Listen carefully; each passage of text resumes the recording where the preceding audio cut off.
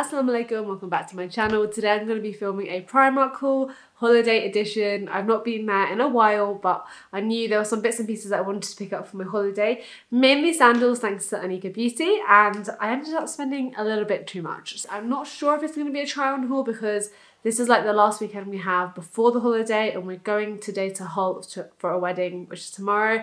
So it's to be a very, very hectic week ahead. Fingers crossed it is, and if it's not, I'm sorry. There's not too many clothes though, so hopefully you don't mind too much. I'm to try and just do this randomly, like not in any sort of order. So the first thing I picked up were five pairs of trainer socks. Um, these were two pounds. Me and my husband both wear black socks all the time, and we are always needing to replace them, so we just got those. From the beauty section, I picked up these Alex Steinherr Pore Balance Blemish Rescue stickers, which looks so interesting. I recently watched a video from Hey Claire and she said that she uses like blemish stickers when she gets a spot. And recently my skin has been absolutely freaking out and just breaking out, especially like over here and over here, which could be to my hijab or my pillow. I don't know what it is, but my skin has been the worst it's ever been. So these are three pounds for 22 stickers and they are supposed to continuously fight blemishes and they've got salicylic acid and tea tree oil in it and they are supposedly there to calm redness and inflammation for a clearer complexion. So I'm really hoping that they are going to work. The next item I picked up is a cardigan. This is in the size small, which is the Primark size 10 to 12, and it is £9. And it looks like this. It's coming up a little bit richer in the camera than it does in reality. It's a little bit more of a muted colour, but I thought this would be so, so nice just to put on top of a sort of summer dress or a nice shirt. As you can see, it's not the thickest, but it's just an extra layer. So in the evening times as well, when you want to go out, but you don't want to, you know, just be in a dress, this is a nice thing to just put on your shoulders and then if it gets warm, you can put it on properly and stay warm as well. I also picked up a PS Sun Protect lip balm. This is SPF 50 and it was just one pound. You never really think about lips when you're thinking about sun care. I don't think, oh I don't anyway, but this has vitamin E and jojoba oil in it and it's supposed to protect against UV rays. I do love a good Primark brush. I haven't got that many, but the ones that I have, I really do enjoy them. And this is from their PS Pro line and it looks very similar to a Sigma brush. This is the foundation and concealer blending brush. It's got an angled shape and it allows for precision application, easy contouring of the face. I think I'm going to take this with me this weekend to see how it works.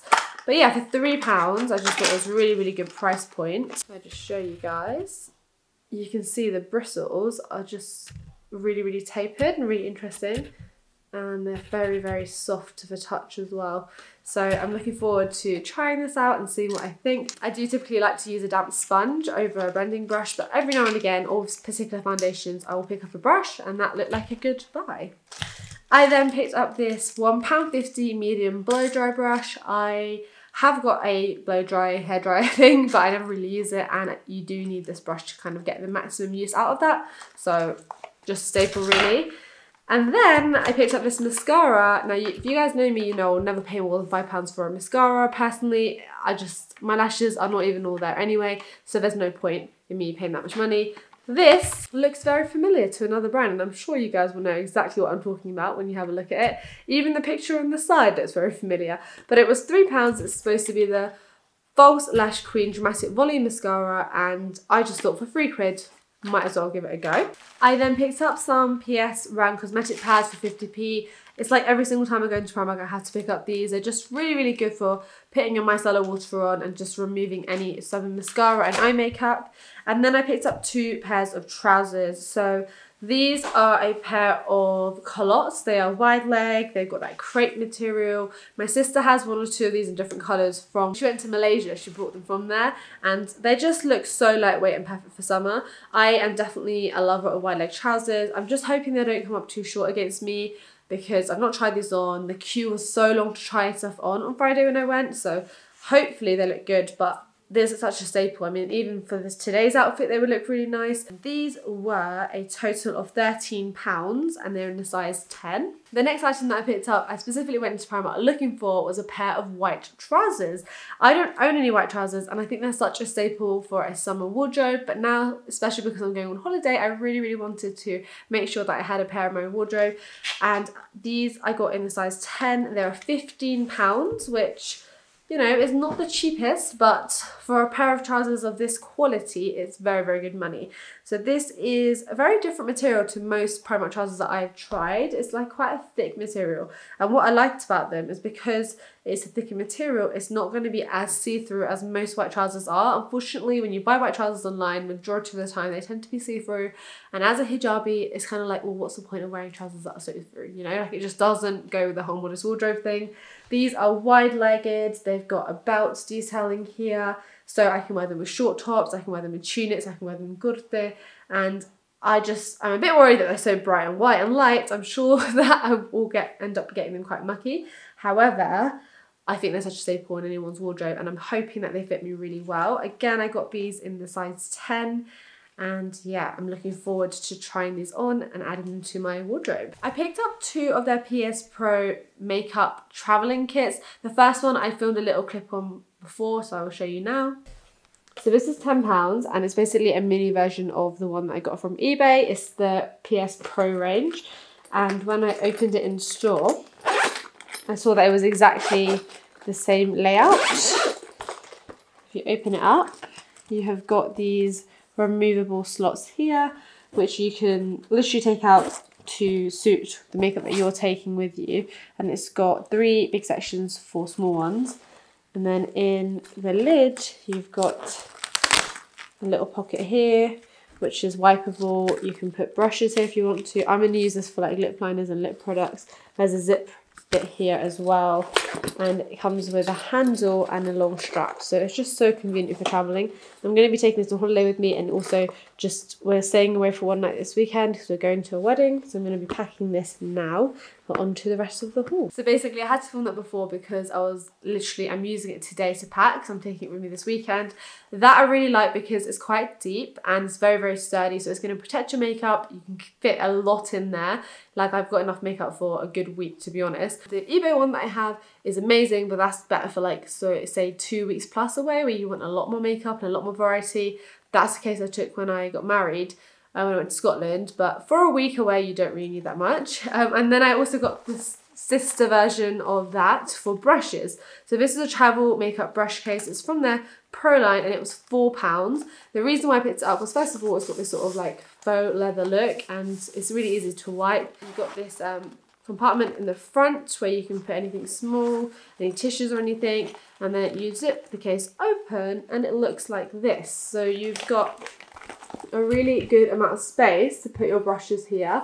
You've got two rows to put your brushes here, and then you've got this clear mesh case in the inside, which is very professional looking. And this is really, really good to keep any smaller bits like your sharpeners, um, your tweezers, your beauty blenders, that sort of thing.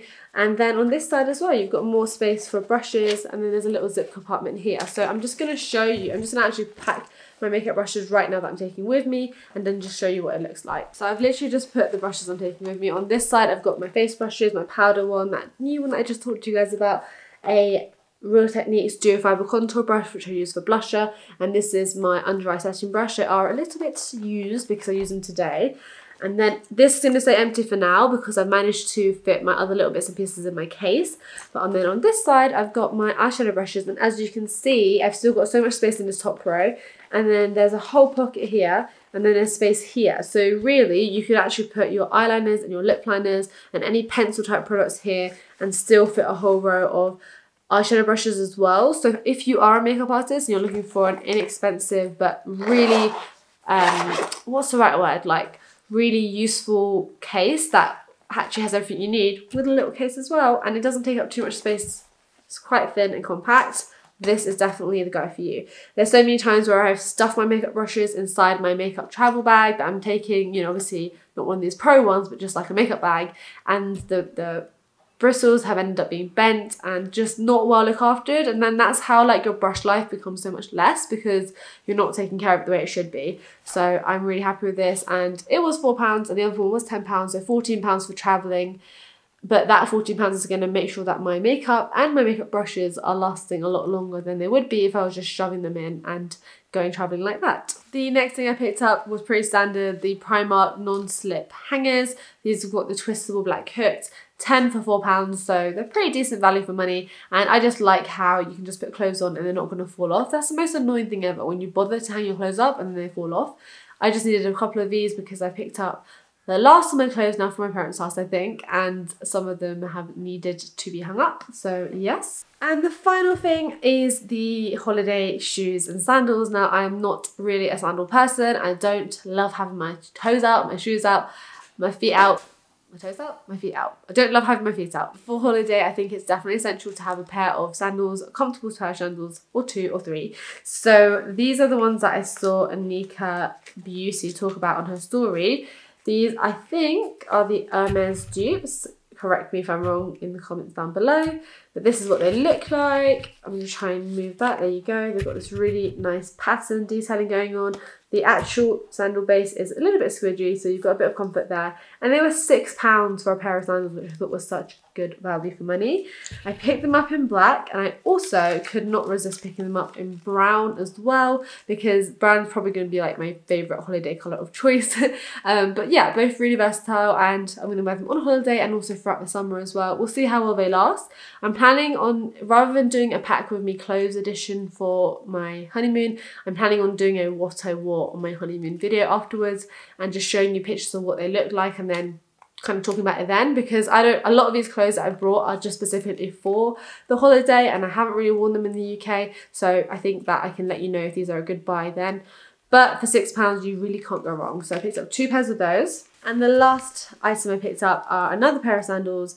These were eight pounds, or a bit more expensive than I realised, um, and they look like this. You have got the brown detailing. What I liked about these was they've got a strap at the back here. So they give your feet a little bit more support than those. I mean, realistically on holiday you're not going to be needing too much support, you're just going to be enjoying the sun, but we have got quite a packed itinerary going on. So for some days I do want to have sandals that are going to really support my feet and make it easy for me to walk and still be comfortable. Um, I like how they've got the rose gold sort of detailing here as well and the brown colour again.